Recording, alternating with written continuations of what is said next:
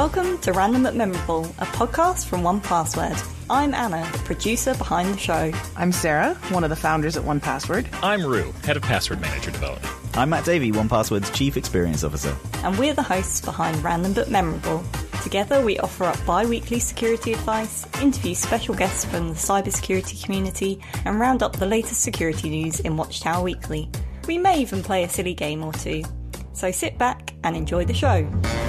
I'm not sure I've got five minutes in me today, honestly. Are you melting? I, uh, it's not that I'm melting. The British heat it's wave. just I've been indoors for all of the nice weather over the last three days because there's there's so much to do, and to go outside, you basically have to bake. Like it's it's been so hot here that any kind of five minutes outside, you end up dehydrated. Oh, look, a British person talking about the weather. Ah, yeah. You know what sucks about being friends with you too is that your accents are no longer novel for me. And I think the things that I used to, I would once find joy in just listening to you, it's just normal.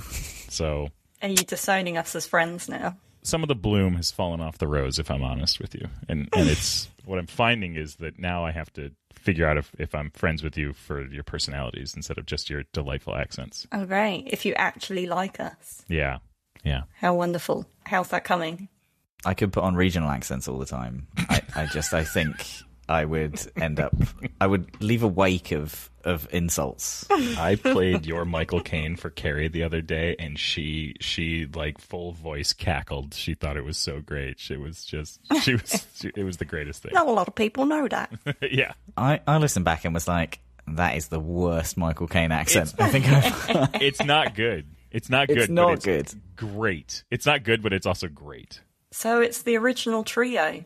It is. It's us. And Anna, you seem to be sitting about three meters away from your microphone. I don't know whether you want to fix that or not. I know it's so quiet. I'm like trying to like turn the gain up over. Oh, here. hang on. Let me turn myself up. Is that better? Or just move it close to your face. I'm like works. right on it. Hang on. that, that came out. Wh- When you say, you know, regional accent, That was Norfolk. Anna's Norfolk comes through very occasionally, but when it does, it is delightful. I am right on it. Right on it. I'm right on it, bruh. I am right on it. Hey, you got a light, boy?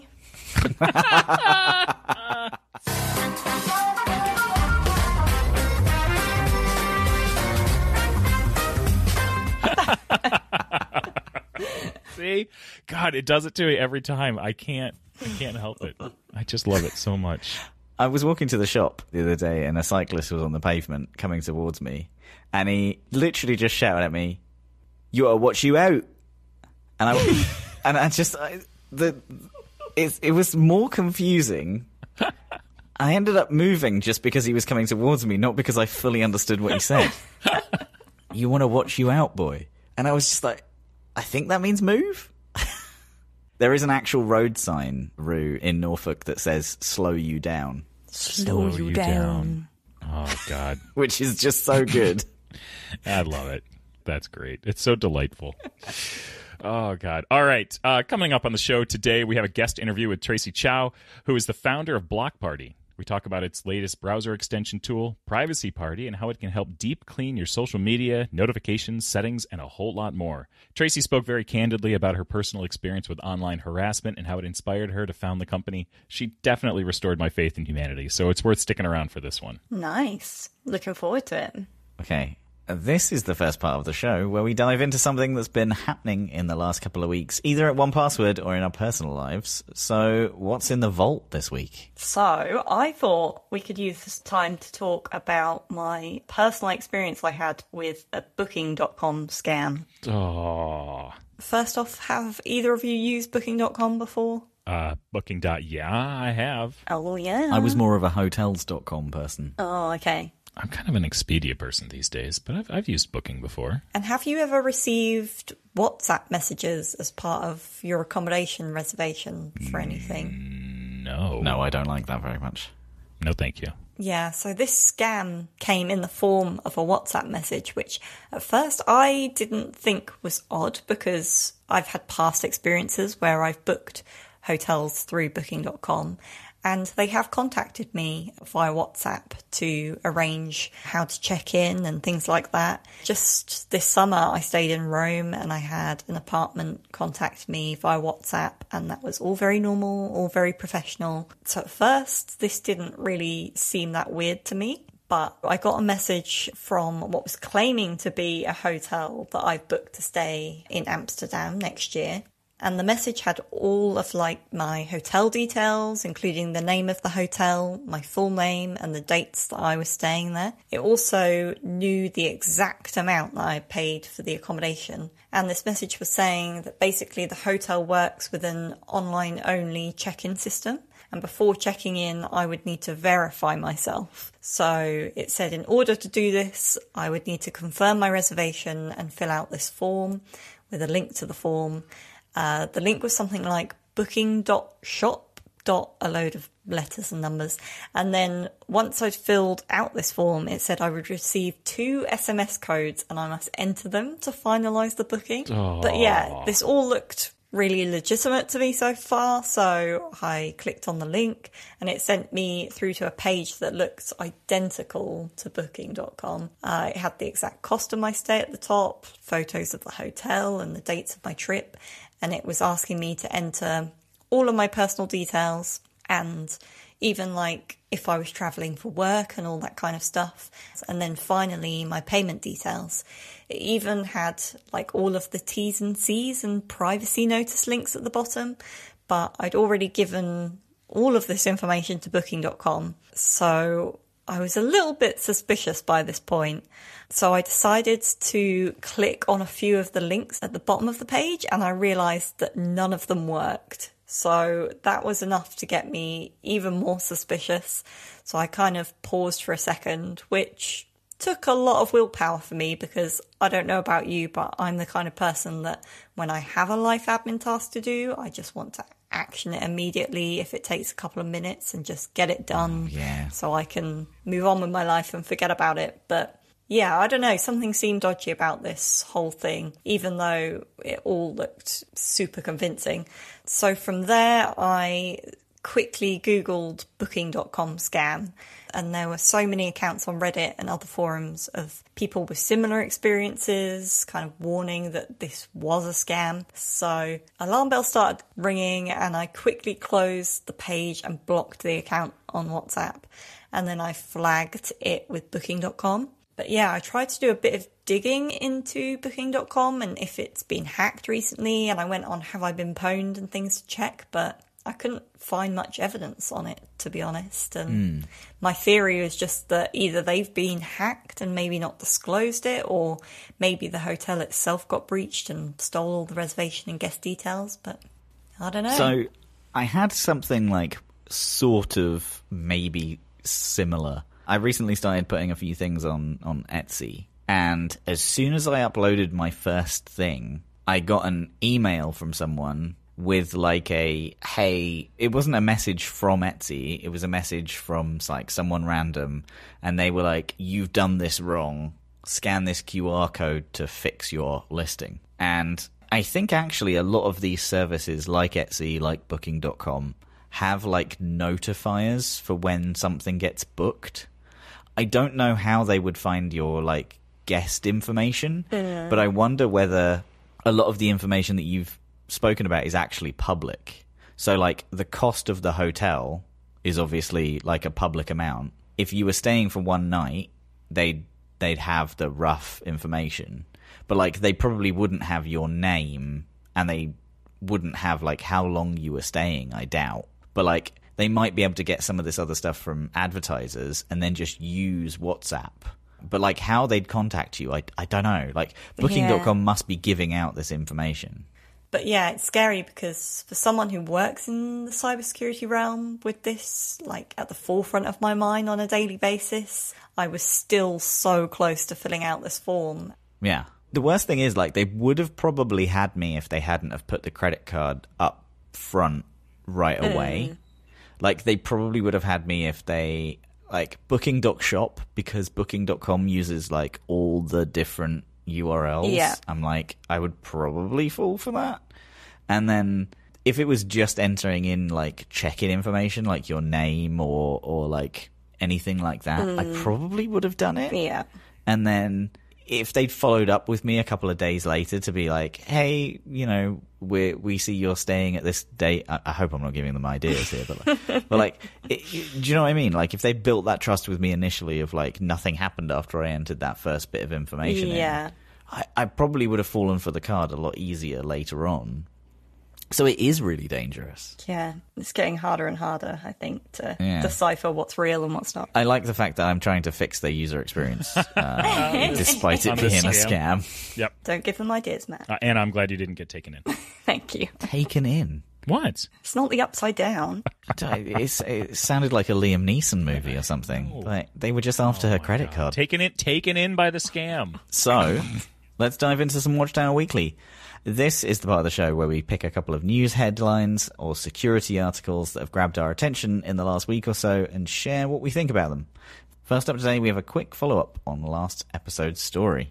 And that story is the CrowdStrike story, of course. So, CrowdStrike have experienced backlash, fresh backlash, over $10 apology voucher. So CrowdStrike is giving staff and firms they work with a $10 Uber Eats voucher to say sorry for a global IT outage that recently caused chaos across airlines, banks, and hospitals, and is now facing fresh backlash. The cybersecurity company said in an email to its partners that it recognized the incident had caused extra work. To express our gratitude, your next cup of coffee or late night snack is on us, CrowdStrike wrote. That is so incredibly tone deaf. I I applaud the tone deafness of this. It's incredible. I don't know how this got through, honestly. This is so good. And it probably, if you think of the amount of people that they probably sent this to, I bet it cost an absolute fortune as well. Yeah. I bet it did, and that's probably why they thought it was okay. Like, what? We're spending two million dollars on this. Like, you'd think that this is a good apology. Like, no, it's ten dollars per person, bud. Don't do that. Yeah. It would seem the gesture was not really appreciated by some. One Redditor user branded it an absolute clown show, while another said, I literally wanted to drive my car off a bridge this weekend and they bought me a coffee. Nice. Extreme. One LinkedIn user claiming to be a CrowdStrike partner said, The gesture of a cup of coffee or a Uber Eats credit as an apology does not seem to make up for the tens of thousands lost in person hours and customer trust due to the July 19th incident. CrowdStrike confirmed to the BBC that it sent vouchers to teammates and partners who had helped customers deal with the impact of the outage. Some people who said that they had received a voucher also took to social media to say that it didn't then work. Uber flagged it as fraud because of high usage rates, CrowdStrike admitted. Wow. Yikes. It comes amid growing questions about what financial compensation CrowdStrike customers and people impacted by the outage will be able to claim. The firm has pledged to improve its software tests after a faulty content update for Windows systems caused the mass IT outage. Its mistake resulted in problems for banks, hospitals, and airlines as millions of PCs displayed the blue screen of death. So, Roo, did you get 10 bucks? No, I didn't get ten bucks. Uh, that was our wellness day, though, so I got ten bucks in free ice cream or whatever it was we were giving out that day. Oh yeah, we did get we did get ten bucks to spend on ice cream. That was pretty good. But not from CrowdStrike. not from CrowdStrike. No. Do you know what this reminds me of? This just reminds me of like you've had a terrible meal in a restaurant and they offer you just like a free drink to make up for amends, you know? Like, okay, ten dollars in CrowdStrike cash would have Yeah. been much better. I appreciate the gesture, but like it's not going to make up for the stone cold chicken I've just eaten or something. You're right, Anna. I love that. Yeah. I had a raw sausage once. Oh, did you get a free drink? They gave me a free dessert, Great. which is it's even worse because I wanted to just go home because I'd just eaten a, a bit of a raw sausage. Yeah. and Oh. and like then they wanted to add ice cream on top of that. And when I said no, I don't want a free dessert, they did nothing else. Great. so so it's like, hey, you might have food poisoning, and you're probably really just Yeah. you know culminating and thinking about uh, you know how you're going to be ill. Uh, would you like ice cream? Yep. Uh, Well, here's the thing. Like, at least you know that they're good at delivering things cold. So that dessert would would have been perfect. Ice cream, fine. Okay, so this next one, background check company breached nearly three billion exposed in data theft. Oh, This is from Mashable. So unfortunately, this could mean that you might have been affected by one of the biggest data breaches ever and not even known it. A recent class action lawsuit filed against Jerico Pictures Inc., a background check company that does business under the name National Public Data, Oof. claims that the company was breached by hackers earlier this year. As a result, the lawsuit says confidential data for 2.9 billion people was exposed and stolen by a hacker group known as USDOD. Like I said, to make matters even worse, because of the nature of the company, those affected by this cyber attack may not even know they could be involved. This is because national public data gathers its data by scraping information about individuals from non public sources without their knowledge or consent. The exposed information contains varying details for nearly 3 billion people, which include names, former and current addresses, and social security numbers, as well as personal data tied to family members and relatives who are both living and deceased. This breach was previously unknown to the public. It's unclear when exactly the breach occurred. One victim of the hack, Christopher Hoffman, said that he only became aware of the issue when an identity theft protection service notified him in July that his personal information had been compromised and leaked on the dark web. The hackers posted a national public database containing the leaked information on a dark web hacking forum in April of this year and sought 3.5 million from a potential buyer. Just last month, we discussed the RockYou 2024 data breach on the show. This was another large data breach which saw nearly 10 billion users' password credentials being exposed. However, we did establish that the data was updated and, and basically a compilation of, of previous leaks and breaches from years earlier. So, with billions exposed in a national public data breach, this now appears to be one of the biggest single data breaches ever, only rivaled by Yahoo's 2013 data breach, which affected 3 billion accounts. I mean, just where the information came from, just like the fact that companies like this exist. this is rough. This is a rough one. Like a background check company being breached. I'm almost surprised that we don't hear more of these. They've got to be treasure troves for information. This feels like every episode at the moment we talk about like the biggest data breach of all time. Yeah. Most of them are like compilations, but it looks like this one is just kind of a huge standalone data set, which is pretty scary. Yeah. Hoy. So now that we've wrapped up Watchtower Weekly, let's move on to my interview with Tracy Chou. With our lives becoming increasingly shared online for all to see, Tracy is on an important mission with Privacy Party to give some control back to the user and empower them to be safer on social media. As I alluded to a little earlier, this interview touches on themes of online harassment, trolling, and stalking. So if any of those topics are triggering for you, it might be best to skip ahead and give this one a miss. But otherwise, I think this is a super interesting conversation, and I hope everyone listening will be able to take something away from it. Stopping by for a chat today is Tracy Chou. Tracy is the founder and CEO of Block Party, which builds tools for online safety, privacy, and anti harassment. Their latest product, Privacy Party, helps people find and fix privacy risks on social media. Tracy is an entrepreneur and software engineer, also known for her work advocating for diversity and inclusion in tech. In 2016, she co founded the nonprofit Project Include, which works with tech startups on diversity towards a mission of giving everyone a fair chance to succeed in tech. In 2022, she was named one of Time's 12 Women of the Year. Tracy, just by that intro, I know there's going to be a huge amount we can talk about and cover on the show today. So let's not waste any more time. Welcome to the show. Thanks so much for having me. Yeah, it's great to have you here. 2022 times 12 Women of the Year. That's pretty cool. Yeah, I was a little surprised, but very flattered. Yes, it was fun. That's awesome. Was that in print? Like, do you have the magazine? It was in print. Yes, I have a few copies, which I will never look at. My mom likes to have the copies on hand, of course. Ah, that's awesome. I love that. That's really, really cool. All right, why don't we start out with a little bit of your background? Like, how did you get started in tech? How did you get started in cybersecurity? Like, how did you go from where you were to where you are today? I had a very charmed entry into tech, I would say, growing up in Silicon Valley. Both of my parents are software engineers. I went to school at Stanford and studied electrical engineering, computer science. So felt like a very well paved road straight into tech companies. I worked at a few of the big platform companies early on. So I interned at Google and Facebook. And then when I graduated from school, I worked at a couple of early stage startups. I worked at Quora, joined as a second engineer, hired onto the team. I joined Pinterest when it was about 10 people. And so got to be a part of building some of these platforms from the ground up.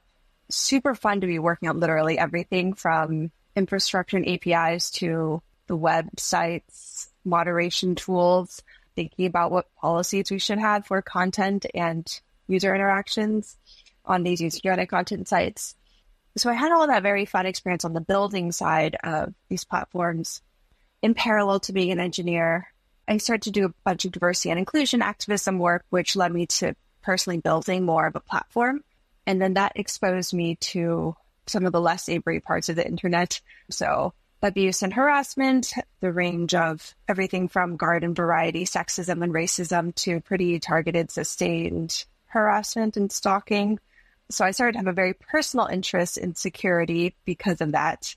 We get things like the 10,000 password reset requests. Like, ah, oh, somebody's trying to get into my account. Okay, I see this. I need to lock this down.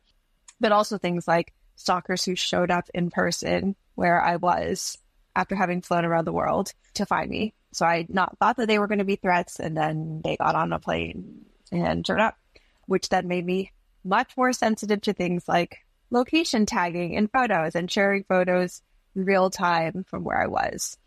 Working on Block Party came directly out of these two different parts of my background one on the engineering and product side, building platforms, understanding how they work, and the other from the personal experience of dealing with safety and privacy and security issues and wanting to build better solutions for that for me and also for everybody else who might be similar to me and maybe they want to start a whole company around building these tools.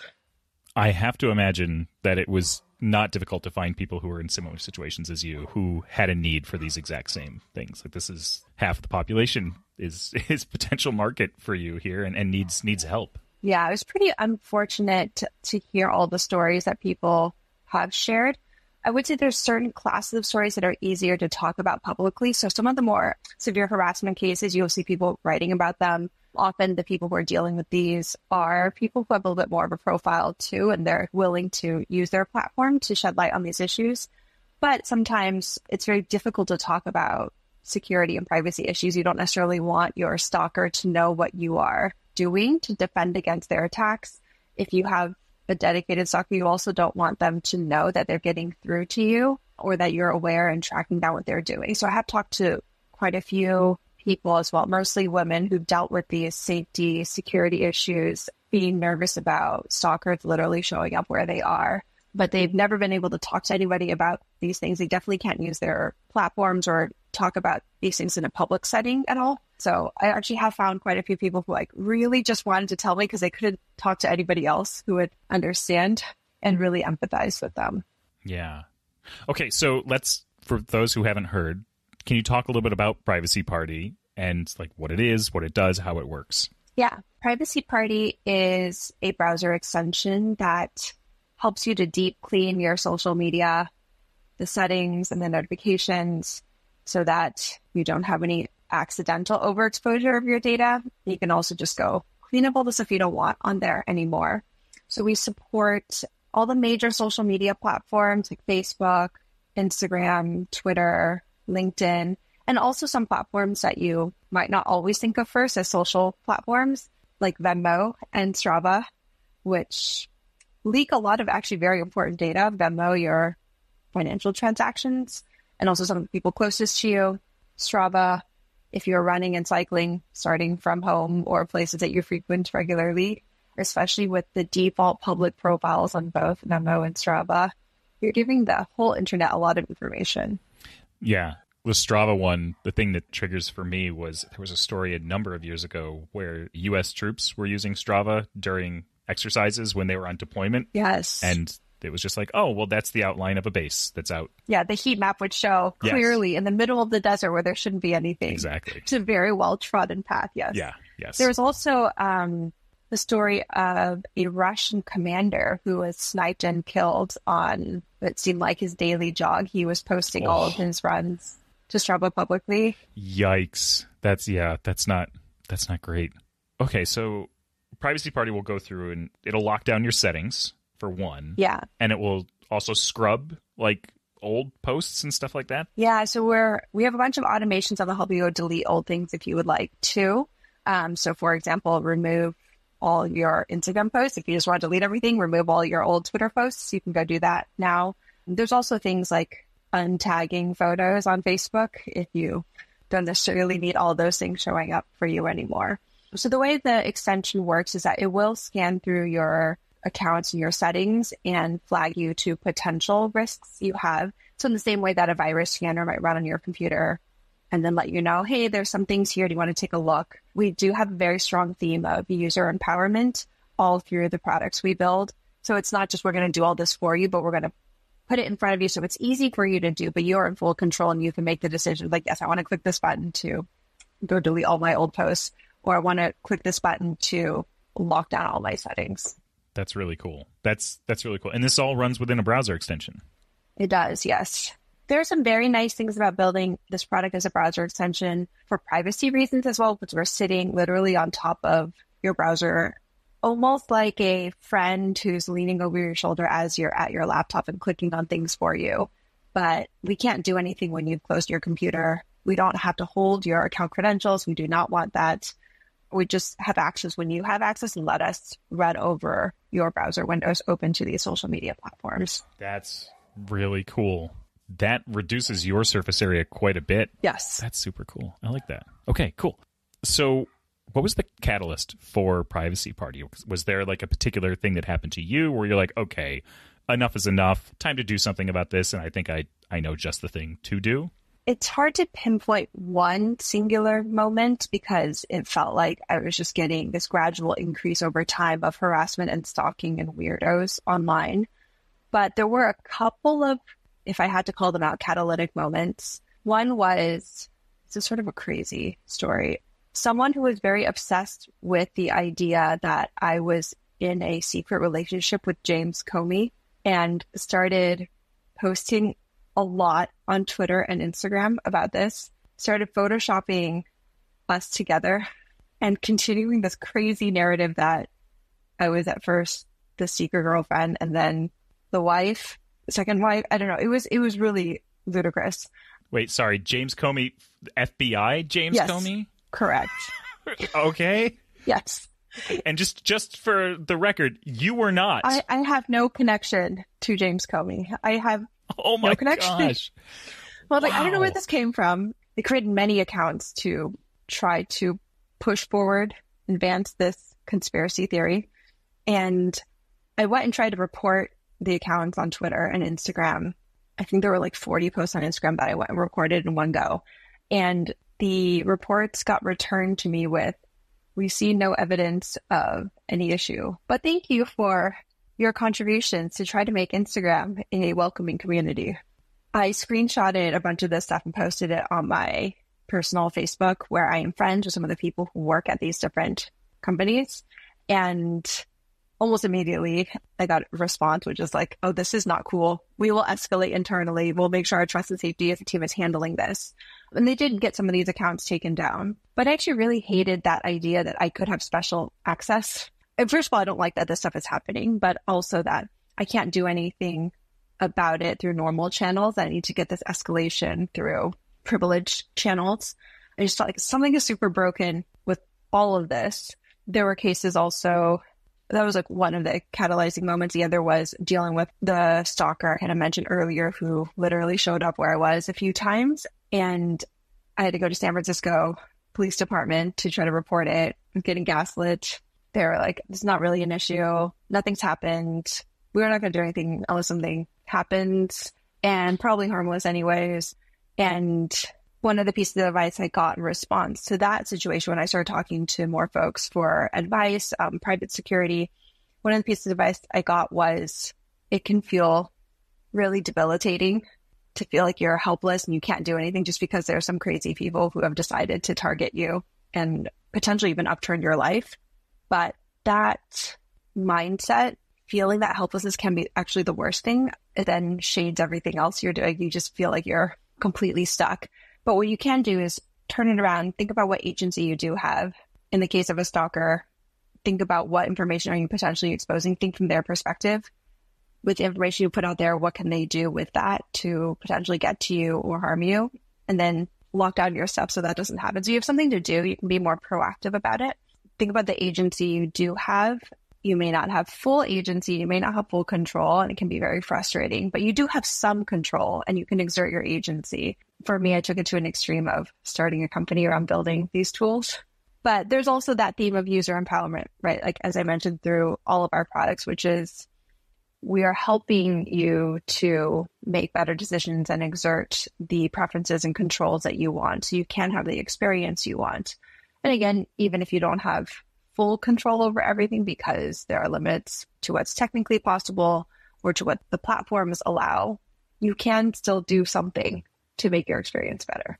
When all this was happening, were you what someone would consider a public figure of any kind? Like, did you have a high profile online, or were you just a normal that this was happening? That's a to? that's a good question.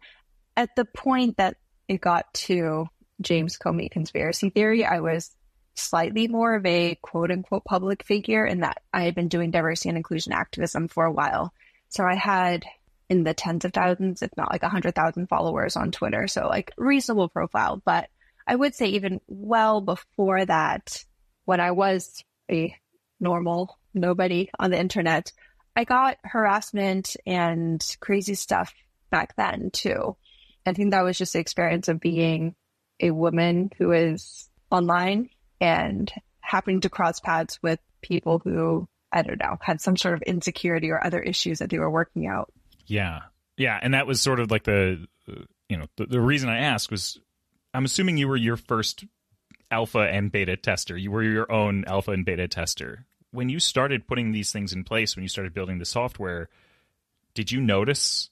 Was there like an immediate moment, or was it more like a, a gradual taper where you're like, okay, like things are getting better for me? Like, when was the moment when you knew that you were like onto something here and that it was working?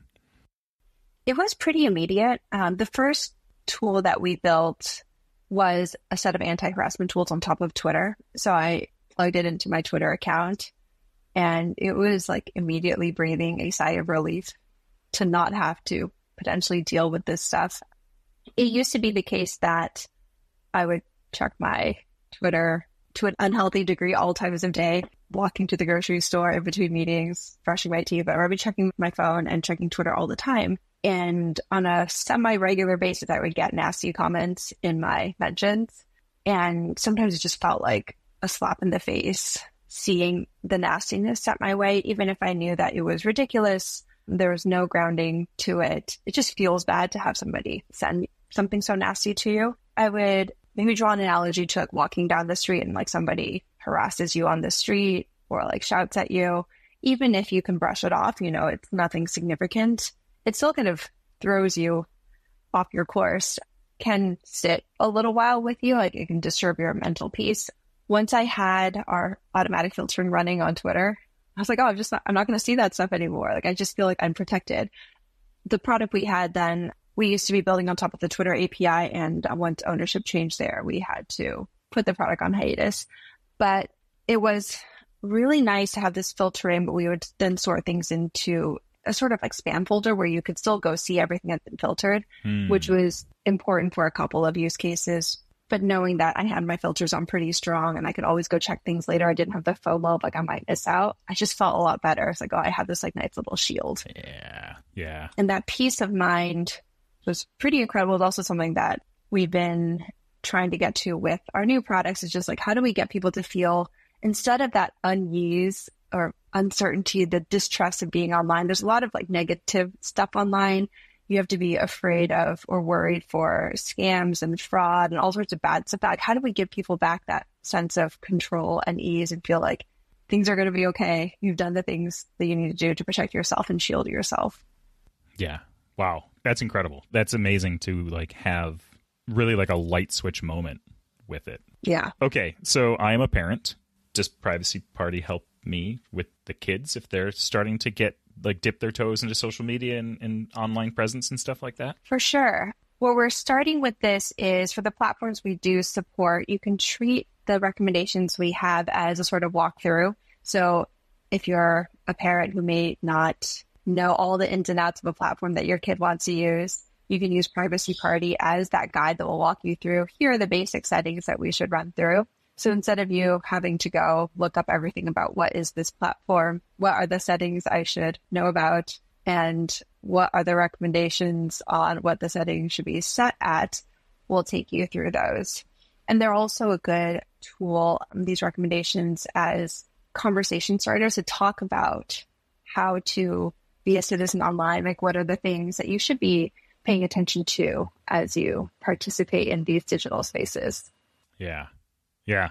We've had some of those conversations, particularly with our daughter, and we've we've taken a fairly like I would say conservative stance with access to social media and stuff. Like we tried to as much as possible limit her access to things and we talked to her about privacy online and not making things public by default and, and stuff like that but it's really nice to know there's also a tool that can like help us because you know today it might be TikTok, tomorrow it's going to be some other ridiculously named service that I definitely won't use myself and will have no idea how to set. Even TikTok, my god, have you gone through like account settings on TikTok? It is the most convoluted mess I've ever seen in my life. I don't understand how people use this. And I'm not I'm a technologist. I'm not dumb. Yes, you're very tech savvy. yes. Yes. Like, what are we doing here, people? Yeah, it's I've crazy.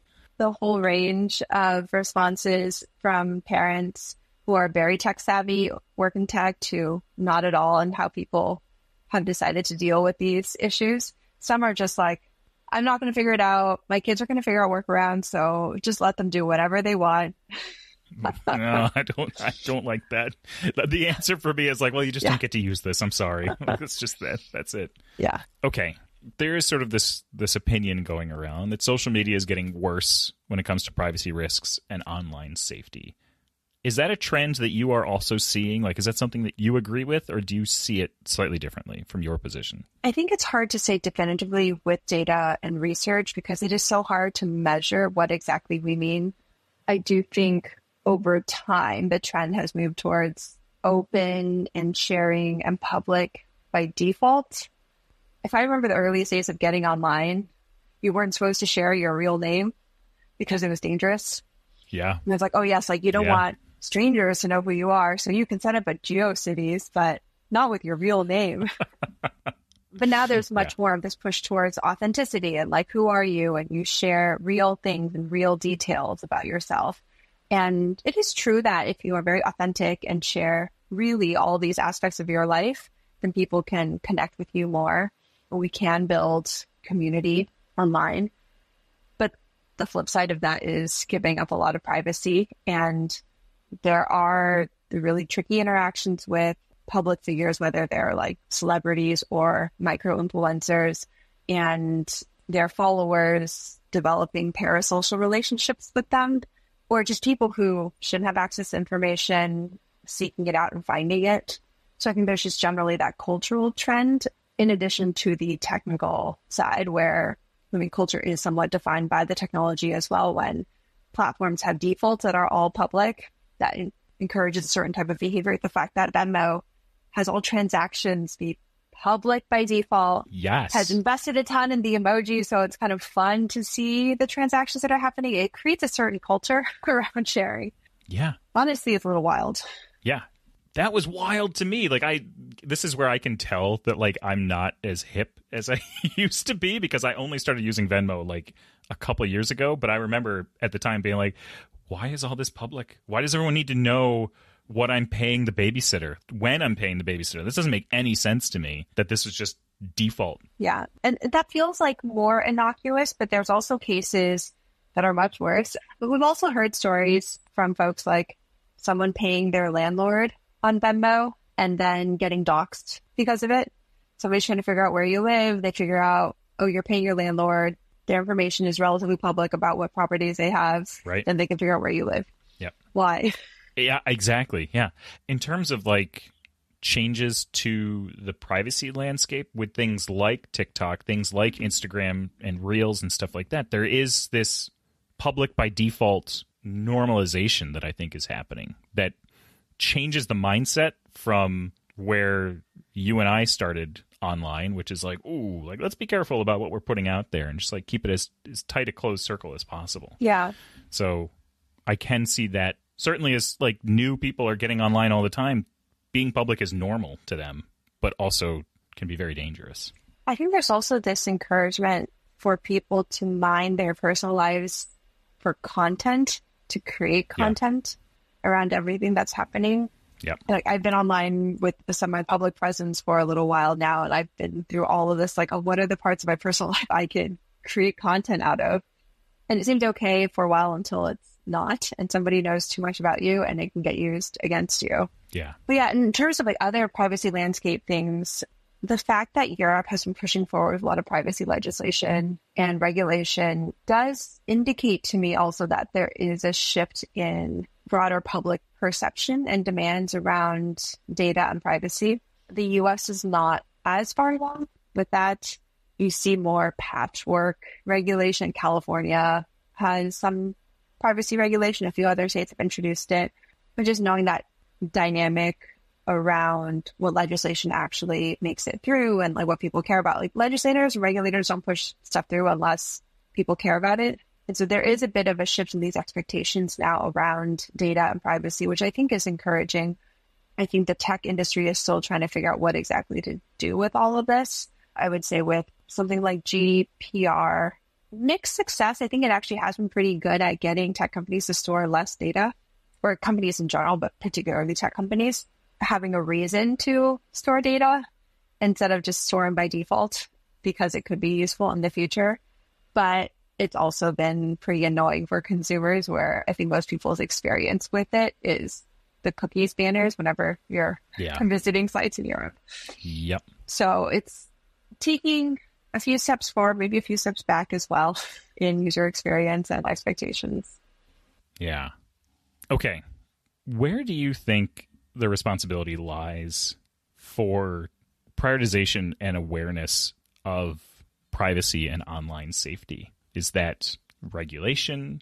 Is that platform vendors? I, I, I'm, I'm sure that part of your answer will be parents and, and, and individuals themselves. But like, where where do you see that responsibility sitting with most? I think it's hard to say that it sits with one group the most. I think it has to be an ecosystem wide effort. There's a lot of people who call on tech companies to do better and not have so many dark patterns and not slurp up everybody's data. Sure. But also we have to be aware of what their economic incentives are, their business incentives, which are going to push in one direction. Yeah. There's regulation, which has to be a part of the picture just because if we don't have regulation guardrails in place, there's no reason for tech companies to do things that don't suit their bottom line. I think lost in this discussion about tech companies versus regulators is sometimes the role of individuals and what individual people can do. I think there is a lot of this helplessness that people sometimes experience and then feel like, oh, there's just, there's nothing because it feels so overwhelming or the systems that be, the powers that be have made it so I can't do anything anyway. So I just stop caring. And again, I would counsel against that sort of feeling of helplessness and push people to think about what agency they do have at many different levels. One is actually pushing for regulation, but I think some of what we need to see around privacy and safety is regulators forcing tech companies to allow for different experiences and better tooling for individuals to be able to exert their rights. Yeah. All right. I want to switch gears just a little bit. How do you see your efforts with Privacy Party intersecting with your work in diversity inclusion, particularly in terms of like online safe spaces and, and marginalized communities? Yeah. Just from the very personal note, I started off caring more about safety and privacy from the personal experience of having been a DEI activist and experiencing some of the vitriol that came back to me around that, which led me to very viscerally appreciate and understand how some of the people that we most need to hear from the activists who are going to say things that feel unpopular or are different than the status quo will be the ones who are on the forefront of receiving negativity and abuse and harassment in the form that is meant to silence. And so there's just the loss of a lot of voices and perspectives we get that hurts all of society when our spaces online can be weaponized in this way and people who can't be safe are getting attacked just have to step away. And it's not just online. I would say also, if you look at the political sphere, there have been politicians, MPs who have stood down from elections because of the abuse they've gotten, like online abuse that they've gotten. So even democratic representation becomes a problem. Or journalism, like female journalists and journalists of color get targeted a lot more.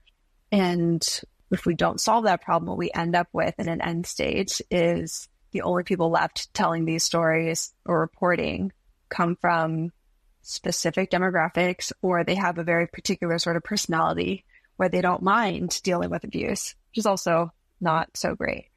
But even apart from public figures or people who are trying to be a part of public spaces, the internet has been really important and very useful for people from marginalized communities to find each other and be able to build solidarity. And so when these spaces become unsafe as well, like there's a big loss for people who otherwise might be able to find connection and support. When I look at the people been able to help with our products at Block Party, with the original Twitter products and with Privacy Party, I feel really good about helping people to stay online and take advantage of the good stuff of being online which is community and connection and learning, exposed to different perspectives, and also for the people who want to be able to speak and have voice so that the rest of the world can hear from them. They are more protected and can continue to do that speaking. That's really cool. Sorry, I don't, I don't want to like sound too cheesy, but that's like a really beautiful point of view on all of this. It really is. It's also very noble. I think I actually have I have a more optimistic view on the internet than people sometimes would expect because they think like, oh, you're trying to tamp down all the bad stuff. Like you must just be looking at harassment and abuse and privacy invasions and horrible things all the time. But I'm actually very optimistic about what is possible with the internet. I personally experience a lot of the good stuff, like having done activism work and used platforms like Twitter to get a message out, get a movement going. And then very personally, meeting interesting people, learning from interesting people online. I see a lot of that good there. Yeah. I worked at Facebook in 2008, but it was still this early vision of like, let's connect the world. I was like, oh yeah, like that was pretty powerful. Like the internet is a pretty cool thing. So I want us to be able to get back to that promise of the internet, all the good stuff by cleaning up the bad so people don't just have to throw out the good with the bad. Yeah. That's really cool. I like that a lot. All right, Tracy, this has been really great. To wrap up, for anyone listening who would love to give Privacy Party a try or learn more about your work, where should they go? This is so ironic because in the name of trying to advance privacy for other people, I need to be very not private myself. you can find information about Privacy Party at privacypartyapp.com. And I am online in most places as Triketora, which is a made up word from the era of the internet where we were not supposed to use our name. So I'm on Twitter, LinkedIn, basically anywhere as Triketora, T R I K E T O R A. Nice. That's awesome. Okay, Tracy, thank you so much for coming. This has been a ton of fun. I've really enjoyed it. I, thank you. Thanks for a super fun conversation. Okay, I think it's time for Ask 1Password, our new advice segment, where you can ask Roo anything. I don't think we've had enough stupid questions, so you can really ask Roo anything. Yeah. And this is where we will answer questions from our listeners, whether that be cybersecurity related or existential woes. I might also attempt a bad accent or two. so this week we have a question from Uma who says, Hey, Agony Aunt Roo and the rest of the podcast gang. This might be a slightly cheeky question, Oh, I'm in very interested in where this goes now. now I can't wait. But I'm curious to know when it comes to security or tech use in general, what bad habit do you have that you pretend that you don't have? Oh. Uh, I ask because I think we're all guilty of having some bad digital habits and hygiene for the sake of convenience and to save us time. You hear a lot of people talk about best practices, but not really admit the things that they still do that they know they need to improve as likely they are bad habits shared by a lot of us. Thanks to everyone involved in the podcast. I've been listening since it started and still look forward to every episode. Best wishes, Uma. P.S. Any tips you have for getting red wine stains out of carpet would be hugely uh, appreciated. So I my bad habit is that I use the same password for everything, and I keep them I keep them all stored in a Google Sheets thing, so I can just access them oh. online whenever I need to. Yeah. I've heard that's better than writing them down. Yeah. I've actually seen one of these before. Someone forwarded me one from their employer, and they were like, "Hey, look at this! Isn't it bad?" And it still contained all of the passwords. oh no! Oh gosh! it was atrocious. Like, oh, the havoc you could wreak. Yeah. Oh gosh. But you don't actually do that, Roo. We, we have to establish that. No, I Yeah. don't. Of course, I don't actually do that. Yes, sorry. I use 1Password, and, and every password is random. Okay, I'll tell you what I do. And I think this will make Matt cringe too. I list my phone number and my email address on my website. like my personal phone number and personal email address are on my website. That's a thing I do. Do you get much uh, much spam from that? No, I don't. I, I really don't. And and this comes from someone who calls people as well, Oh yeah. yeah, I just I'll just call you. like who, who literally just out of the blue just phones you. I love a Roo call though. They do just come out of the blue. Here's the thing. I only do that to people I really care about. Oh, I feel honoured. Oh, I know you really care because you gave me 15 minutes warning yesterday. So That's the British way. yeah, I'm going to talk to you on June the 19th at 2 p.m. I I love that if we get a reminder email sent in on June June the 19th from someone randomly listening to an old episode. Do you know what I do? My bad habit is uh, IoT. I just plug and play like all my IoT devices. Oh gosh. Oh that that makes me really anxious. Yeah, I know that you should change the default password settings and you should go through some of the privacy settings, but yeah, I don't do that and I know that's super bad, but I need to do something about that. That makes me nervous. What about you, Matt? Hands down, Dan comes behind you and, and adds all the security second settings in. Oh yeah, I'm hoping. I'm hoping that that's the case, but I don't know whether it's a security thing, but what I definitely do is change my email address that I'm using far too often. And so when it comes to like an account, I will have changed my email address and then I no longer have access to that account. And I won't go and tidy it up. I won't go and like, you know, talk to support for 30 minutes to try and prove who I am and close it. I will just open another one. So I think there's a bunch of accounts out there that I don't really know what's in them. And also I don't have access, but like someone maybe does. I don't know. Yeah. Because I like, I no, no longer own that email address. Yep. Yep. this has been helpful. I'm glad we did this. Yeah. In terms of the wine spill, I mean, at this point, it's no longer fresh. So you're you are now okay. If it's a fresh wine spill, you can go after it with like baking soda, like a whole bunch of baking soda and a little bit of water. I've heard white wine, white wine on red wine. Really? You think so? Yeah, yeah. Interesting. Don't quote me on that, but that's something I've heard. Okay. Since this at this point is a, is a dried stain, it's going to be a dish soap vinegar warm water attack. Uh, if you have a little green machine, those are those are wonderful, and you can actually load the reservoir with some uh, dish soap and vinegar and s- just start going at it. The thing to remember though is that it's you are this is not an instantaneous fix. You have you are going to have to put in the work. Uh, you are going to be doing this for a while. You'll get there, but it's it's going to take a little while. I've heard you have to blot rather than rub. Uh, yes, yes, because what what you are trying to do is sort of saturate the area with things that will break down the wine, and then draw them back out.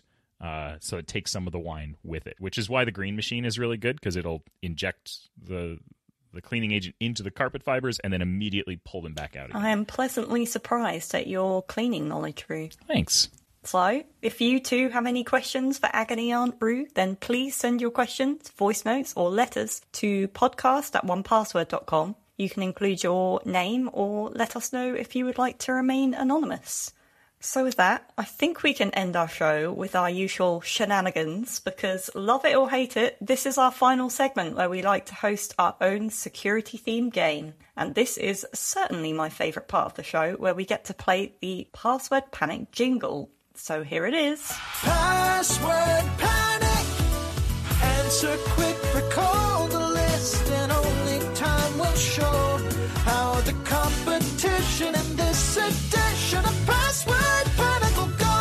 Oh my god, that was so loud.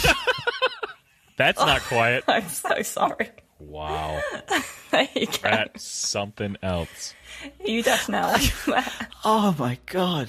My eyes are watering, that's so loud. Why does it default to putting it at full volume? I don't know. This is my favourite part of the show where I get to make my ho hosts deaf. My ho hurts. Ho ho. See, so I can't hear my own voice. My ho hurts. oh god. Okay. Ah. So welcome to Password Panic, the fast-paced memory testing trivia game. Here our hosts have to answer a number of general knowledge questions to create one long password. But there's a catch. When answering, they must buzz in and recite every correct answer from the round in order before adding the next answer to the list. As this long list grows, we will begin to create a complex password. So, this is a test of our knowledge and our memory. So, are we ready for the first question? Which planet is known for its rings? Conry? Saturn. Correct. Next question. What war film directed by Sam Mendes is known for its long takes? Matt? 1917. Mm, Matt, sorry. 1914. You No, sorry. S- No. Stop. No, stop. The game is that you have to repeat all of the answers up till the point. Oh. Do you know this game, Matt? It- I- I haven't played this before. I've only Oh. been host. Oh, okay, okay. Sorry. Please uh, go continue. Do try again. Okay. Uh, Saturn, 1917. Very good. Well done. Okay. Next question. What is the name of the test designed to determine if an online user is really a human and not a bot? Go for it, Rhea. Saturn 1917 CAPTCHA. Very good. Okay, next question. What is the name of the standard English language computer keyboard? Go on, Roo. Saturn 1917 CAPTCHA QWERTY. Very good. Ah. Next question. Which Hollywood Deadpool actor featured in a 1Password commercial? Oh, God. Saturn, 1917. CAPTCHA, QWERTY, Ryan Reynolds. Very good. Okay. Next question. What is the most spoken language in the world? Ding. That was a reluctant Roo. Yeah, well, because I'm like, mm. oh my god, uh, Saturn, 1917, CAPTCHA, QWERTY, Ryan Reynolds, English. No, incorrect. Oh no! Wow. Matt, do you want to give it a go? Saturn.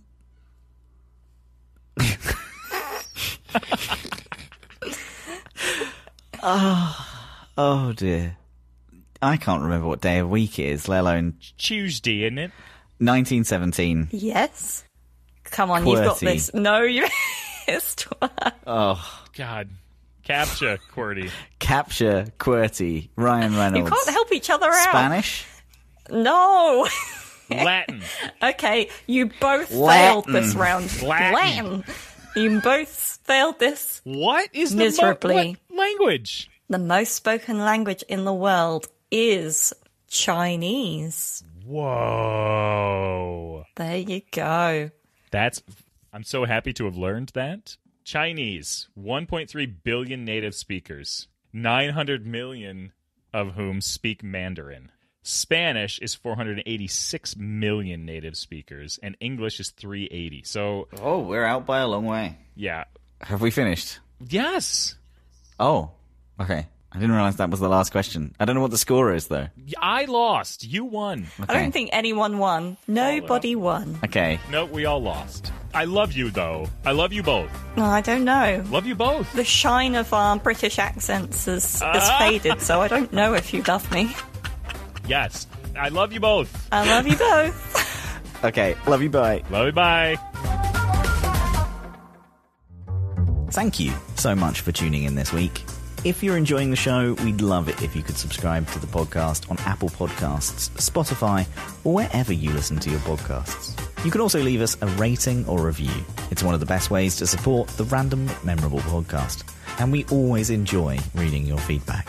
We're also a community led podcast, so if you have any questions for us to answer in Ask 1Password, topics, requests, or even guests that you'd like to hear from, please send us a message to podcast at 1password.com. We read all of your comments and look forward to hearing from you. We hope you join us next episode for plenty more random moments in the world of cybersecurity.